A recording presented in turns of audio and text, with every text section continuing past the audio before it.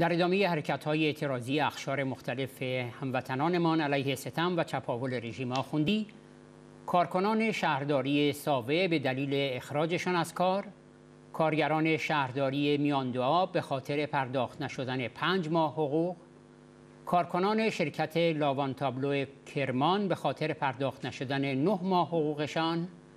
کسبه و اهالی خیابان توحید مشهد در اعتراض به اجرای طرح اتوبوس‌های بی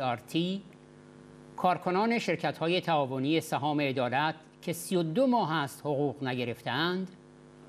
کارگران کارخانه روغن نباتی فریکو در سیرجان به خاطر پرداخت نشدن سه ماه حقوق 500 خانوار چندین روستای پشتگوه فلار در لردگان به دلیل توزیع نشدن سوخت در زمستان و پرسنل بهداشتی شرکتی طرح تحول سلامت اصفهان در اعتراض به فقدان امنیت شغلی و پرداخت نشدن حقوقشان تجمع اعتراضی برگزار کردند.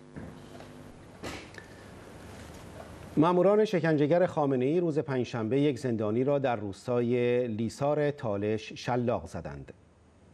این عمل وحشیانه و ضد انسانی در ملع عام صورت گرفت.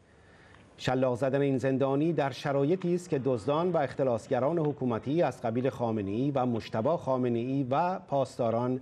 هزاران میلیارد تومان از ثروت مردم را به قارت بردند.